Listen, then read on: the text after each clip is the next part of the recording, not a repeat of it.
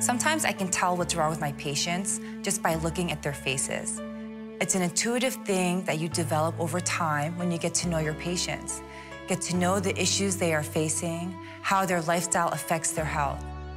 It means the world to them because you care. You care beyond their symptoms. You're treating the individual, you're not just treating their condition. For me, that's the rewarding part of medicine.